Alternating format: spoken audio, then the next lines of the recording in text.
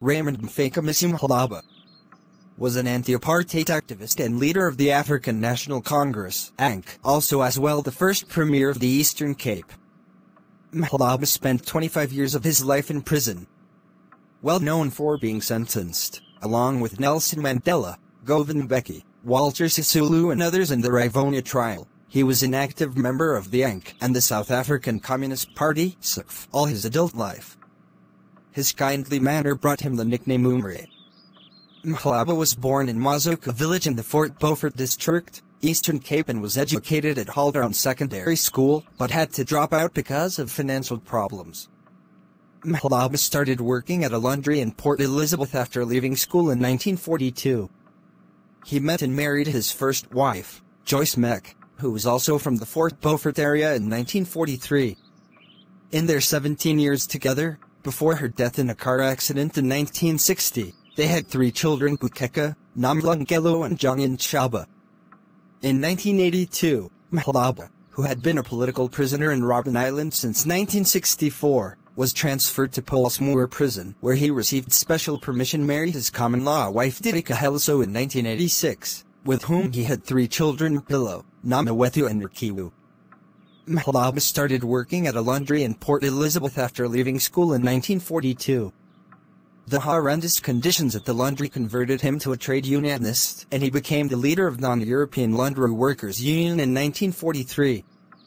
In 1943, he joined the South African Communist Party, serving as the party's district secretary from 1946 until the party was banned in 1950. In 1944, he became a member of the African National Congress.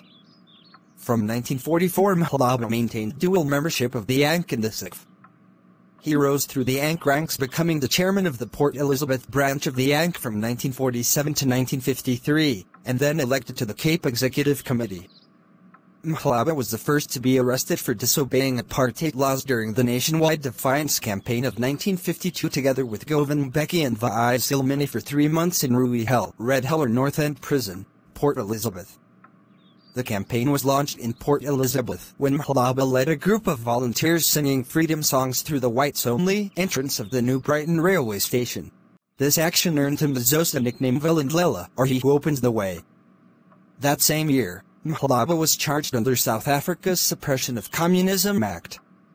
Although his political activities continued, he was barred from attending meetings or gatherings. After the ANC was banned on the 8th of April under the Unlawful Organizations Act, the party took up the armed struggle forming its military wing Umkhonto we Sizwe. Mhlaba was one of its first recruits and was sent to China for military training. Before leaving he assisted Mandela in writing the Umkhonto Constitution. In 1962, Mhlaba returned to South Africa, becoming a commander of the MK after Nelson Mandela's arrest. On the 11th of July 1963 the South African apartheid government raided the ANC's underground headquarters in Rivonia, north of Johannesburg. Mhlaba and ten other ANC and SACP leaders including Ahmed Kathrada, Walter Sisulu and Govan Mbeki were arrested and Nelson Mandela was already in prison. They were charged with sabotage and conspiracy to overthrow the government. On the 9th of October 1963, the world-famous Rivonia trial with all the accused charged with high treason. On the 12th of June 1964, Mhlaba, Mandela and six other ANC leaders were sentenced to life imprisonment, and all were sent to Robben Island, but the white Denis Goldberg was sent to Pretoria Central Prison instead of Robben Island. During his time in Robben Island, Mhlaba and other ANC members founded the ANC High Command or High Organ with Mandela as its head. The committee educated and supported younger imprisoned members, formulated policies on day-to-day concerns, prisoners' complaints, and strikes, and enforced discipline within their isolation unit. Looking back at their time in Robben Island Mandela said of Mhlaba, I got to know him as the peacemaker. He spent a lot of time urging fellow prisoners to forget their differences and unite so that conditions for prisoners could improve. After his release from prison on the 15th of October 1989, he was elected to the ANC National Executive and the South African Communist Party Central Committee. He became national chairperson of the SACP in 1995. In January 1994 he was chosen as the ANC's nominee as Premier of the Eastern Cape. and in May 1994 he was elected to that post. He helped to establish the House of Traditional Leaders. He then became the High Commissioner to Uganda and Rwanda, until he retired in 2001. In April 2001 he released a book of his memoirs, narrated by him and researched and compiled by Thembeka Mufamadi. He was chairperson of a black economic empowerment consortium involved in the Coega Port project, but suffered a stroke on the 19th of July 2003, recovering quickly. In 2004, Mhlaba was diagnosed with advanced liver cancer, and in December doctors discharged him from a private clinic saying there was nothing they could do for him. On the 20th of February 2005 he died in hospital. He was granted state funeral on the 27th of February 2005.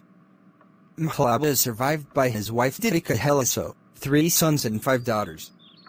Mhlaba is seen as a stalwart member of both the Ankh and the Sikh. He was recognized with the Isitwalandwe Medal in 1992 for his role in the liberation struggle, and the Moses Kotane Award in 2002 for his contribution to the Sikh. The Nkonkobe local municipality which includes Alison Mhlaba's hometown Fort Beaufort was renamed the Raymond Mhlaba local municipality and on Dries Pretorius Street, the R30 in Bloemfontein was renamed after Raymond Mhlaba to honor him. There's an Ankh branch named after him in Mpumalanga, Nkangala region, sub-region Thambisilhani Ward 11 in Verena. I would end here and continued in my next episode. Kindly subscribe to my channel. And don't forget to leave your comments.